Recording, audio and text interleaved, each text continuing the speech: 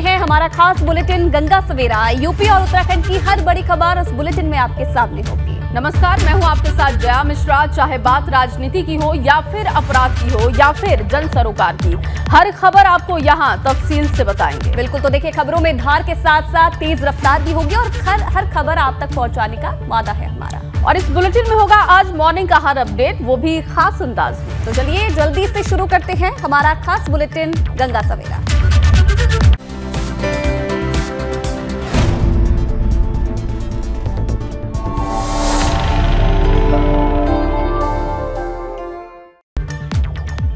और supreme court के आदेश पर नोएडा के ट्विन टावर को जमींदोज करने का काउंटडाउन भी शुरू हो गया है और लगातार इसे लेकर तैयारियाँ भी की जा रही थी। और काउंटडाउन शुरू हो गया है 28 अगस्त को ट्विन टावर को गिराया जाएगा, जिसके लिए विस्फोटक लगाने का काम पूरा हो गया है। इंतज़ार है 28 अगस्त का। सैंतीस किलो विस्फोटक से ट्विन टावर को ध्वस्त किया जाएगा। इससे पहले 25 अगस्त को ब्लास्ट का मॉक ड्रिल होना है, जिसे लेकर जो फाइनल तैयारियाँ हैं, वो आज पूरी की जाएगी।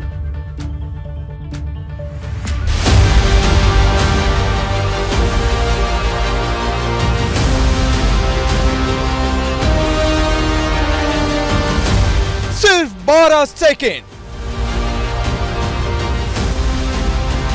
सैतीस सौ किलो बारूद और ताश के पत्तों की तरह बिखर जाएगा ट्वेन टावर। उल्टी गिनती शुरू हो चुकी है। नोएडा के बीचों बीच बना ये वही सुपरटेक ट्विन टावर है, जिसे 28 अगस्त को जमींदोज किया जाना है। इस खास ऑपरेशन को अंजाम देने के लिए 3700 किलो बारूद का इंतज़ाम किया गया है। दोनों ही टावर्स में विस्फोटक लगाने का काम 16 टीमों की मौजूदगी में पूरा भी कर लिया गया है। अब 25 अगस्त को धमाके का मॉकड्रिल होना है। उसके बाद 28 अगस्त को अंतिम ब्लास्ट किया जाएगा। लिहाजा बुधवार को रिहर्सल से पहले फाइनल तैयारियों का जायजा अलग अलग विभाग की टीम लेंगी।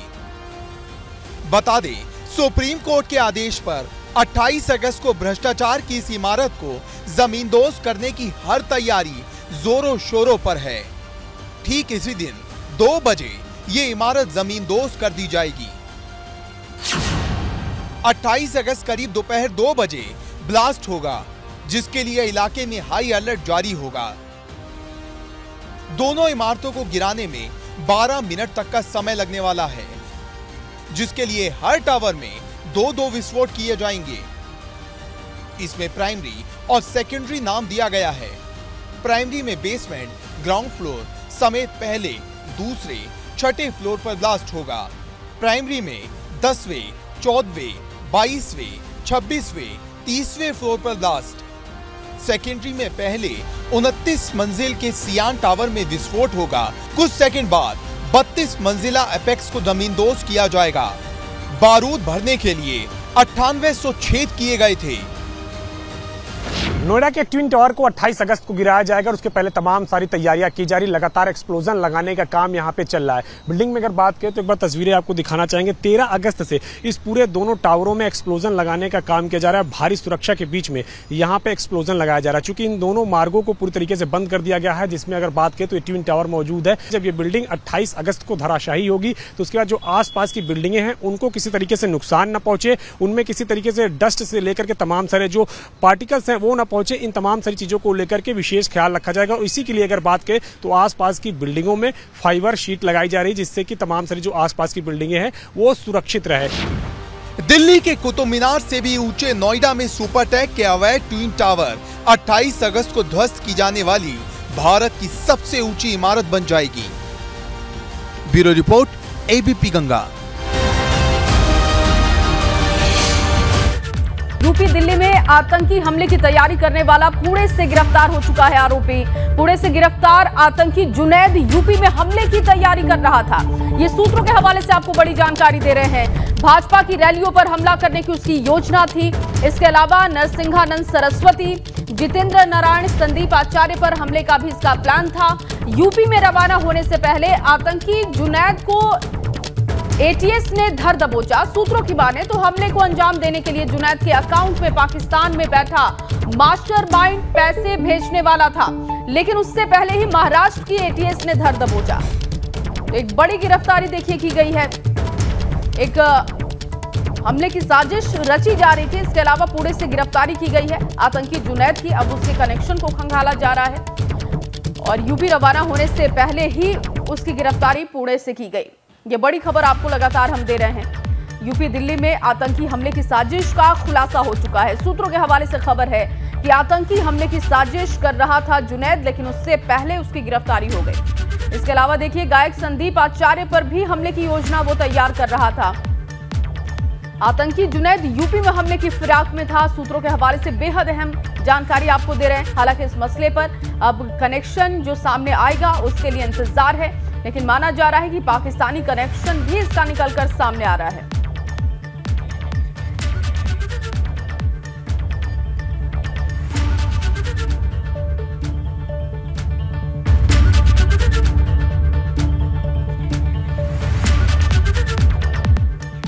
और चलिए अब बात अब्बास अंसारी की करते हैं। दरअसल माफिया मुख्तार के बेटे अब्बास अंसारी को गिरफ़्तार करने के लिए अब लखनऊ पुलिस के पास सिर्फ़ 24 घंटे का वक्त बचा है।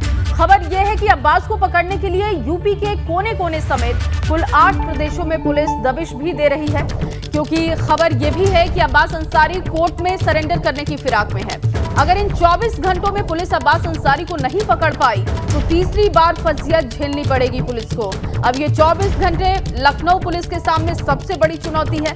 हालाँकि अब्बास अंसारी के सरेंडर करने की खबरों के बीच लखनऊ पुलिस ने कोर्ट के आसपास मुस्तैद रहने की तैयारी कर रखी है। अब देखना यह होगा कि चूहे बिल्ली के इस खेल में ये 24 घंटे किसके लिए निर्णायक साबित होते हैं।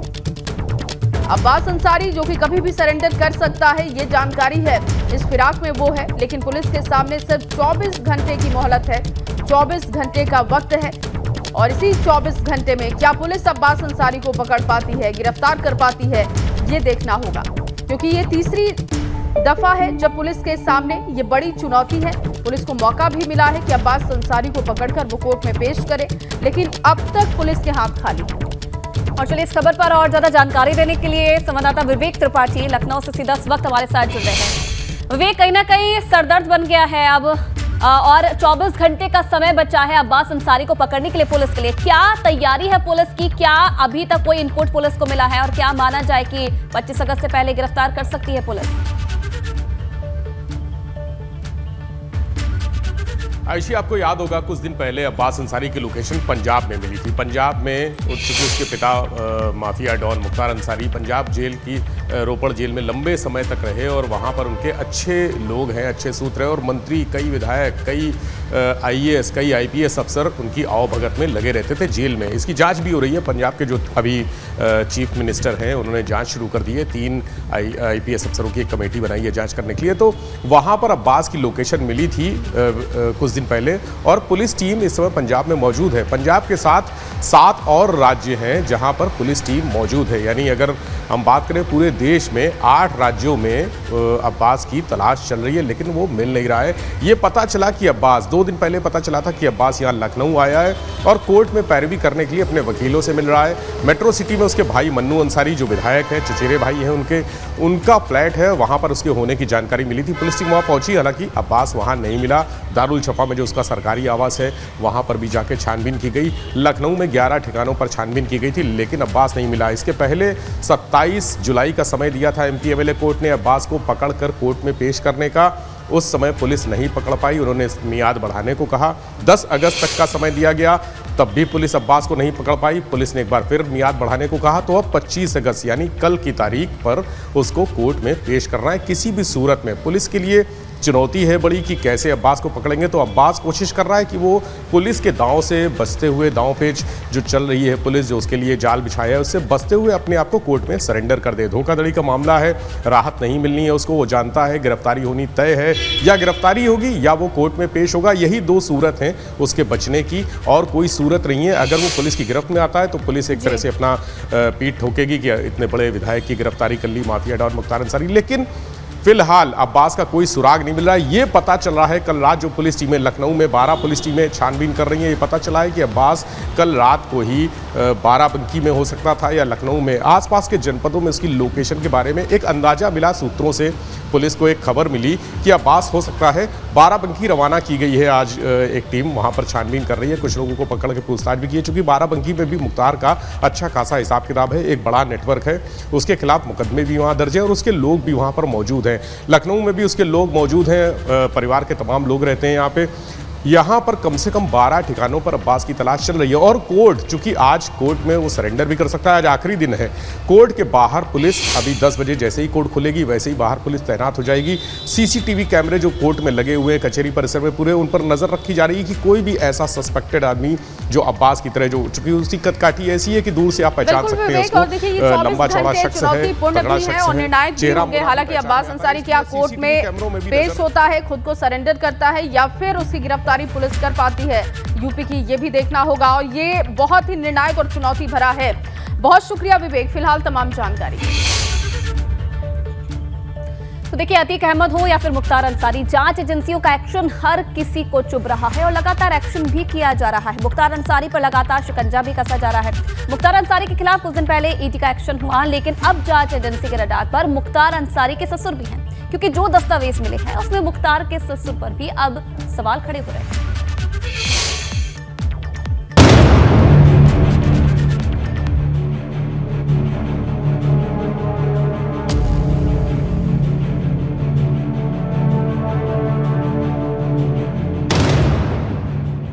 जब वक्त अच्छा होता है तो सगे संबंधी भी खूब ऐश करते हैं, लेकिन जब वक्त बुरा आता है तो परेशानी भी सबके हिस्से में बढ़ती है। कुछ ऐसा ही हुआ है, मुख्तार अंसारी और उसके करीबियों के साथ। अब जाँच की आँच मुख्तार के ससुराल तक पहुँच गई है। ईडी ने मुख्तार अंसारी के ससुर जमशेद रजा को नोटिस भेजा है। मुख्तार के साले आतिफ रजा को भी नोटिस भेजा गया है, जबकि लखनऊ के प्रॉपर्टी डीलर शादाब को भी नोटिस मिला है। हाल ही में ईडी ने मुख्तार के 12 ठिकानों पर छापा मारा था। अब इन संबंधियों के बयान लेने के लिए नोटिस जारी किए गए हैं। दरअसल, छापेमारी के दौरान ईडी को करोड़ों रुपयों के लेन देन का पता चला और कार्रवाई से पहले ईडी मुख्तार के ससुर समेत तमाम लोगों का पक्ष जानना चाहती है। यानी जल्द ही ईडी के दफ्तर पर मुख्तार के ससुर हाजिरी लगाएँगे। और चलिए इस बीच आपको एक और बड़ी खबर बता दें। यूपी में फिर से तबादला एक्सप्रेस चली है और तेरह आईएएस अधिकारियों का ट्रांसफ़र हो चुका है। यूपी में तेरह आईएएस अफसरों के तबादले हुए, ये बड़ी जानकारी आपको दे रहे हैं। विपिन कुमार जैन को भूतत्व एवं खनि कर्म विभाग का विशेष सचिव बनाया गया है। इसके अलावा आई जगदीश को यूपी मेडिकल सप्लाई कॉरपोरेशन के अपर प्रबंधक निदेशक की ज़िम्मेदारी मिली है। आलोक कुमार को यूपी लोक सेवा आयोग का सचिव बनाया गया है। उन्हें ज़िम्मेदारी दी गई है। और इसके अलावा भी कई इसमें नाम है। देखिए, खेमपाल सिंह, अपर आयुक्त एवं अपर निबंधक प्रशासन सहकारिता बने रहेंगे। अजय कुमार द्विवेदी को कृषि उत्पादन आयुक्त शाखा के विशेष सचिव के तौर पर ज़िम्मेदारी मिली है।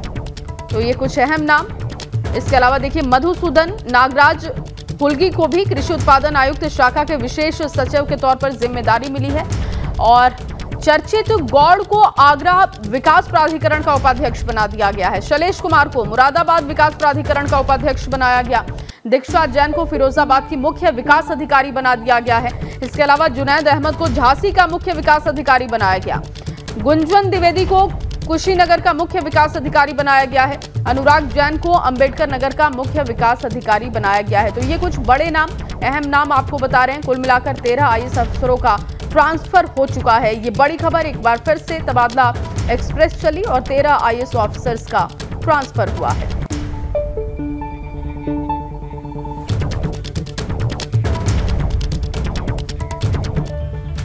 और चलिए आगे बढ़ेंगे, बात करेंगे आज पुलिस विभाग को। सीएम योगी एक बड़ी सौगात देने वाले हैं और अक्सर पुलिस कर्मियों के जर्जर मकान में रहने की शिकायतें आती थी। लेकिन आज सीएम योगी यूपी में एक बड़ी सौगात देने वाले हैं और पुलिस कर्मियों के लिए 190 पुलिस भवनों की सौगात देने वाले हैं। सुबह साढ़े नौ बजे सीएम योगी लोक भवन से कार्यक्रम में वर्चुअली जुड़ेंगे और 190 पुलिस भवनों का लोकार्पण करेंगे। तो ये बड़ी राहत देने वाले हैं, बड़ी सौगात देने वाले हैं पुलिस कर्मियों को।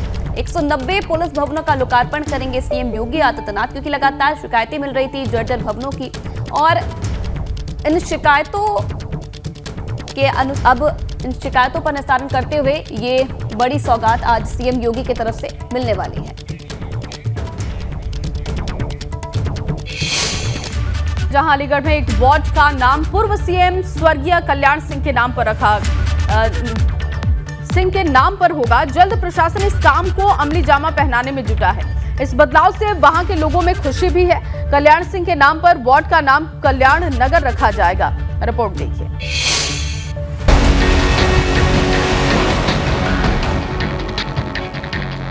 अलीगढ़ की नगर पंचायत मडराक में एक वार्ड, यूपी के पूर्व मुख्यमंत्री और राजस्थान के पूर्व राज्यपाल स्वर्गीय कल्याण सिंह के नाम पर होगा। नगर विकास की ओर से वार्ड का नाम कल्याण नगर कराने के लिए जिला प्रशासन की ओर से प्रस्ताव भिजवा दिया गया है और अब बदलाव की तैयारी चल रही है। यूँ तो ज़िले में 19 नगरीय निकाय हैं, जिनमें एक नगर निगम के अलावा दो नगर पालिका और 16 नगर पंचायत शामिल हैं। और अब मडराग नगर पंचायत में एक वार्ड का नाम कल्याण नगर किए जाने को लेकर लोगों में खुशी है। सर ऐसा हो जाए तो हमें तो बहुत खुशी है और हम तो उन- उसी चाहते हैं कि उसके नाम चले। बहुत बढ़िया बात है इसके लिए हम बहुत खुशी है। प्रशासन की माने तो नवगठित नगर पंचायत मडराक में वार्डों का परिसीमन हुआ है और अब यहाँ एक वार्ड का नाम कल्याण सिंह नगर किए जाने की तैयारी कर ली गई है। नवसृजित नगर पंचायत मडराक है।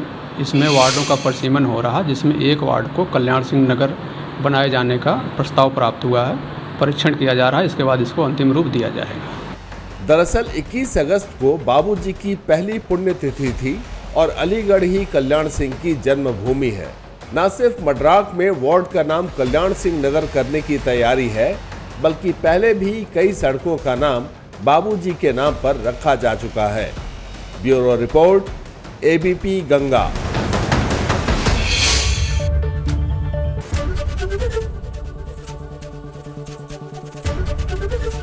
ABP Ganga खबर आपकी जुबा आपकी।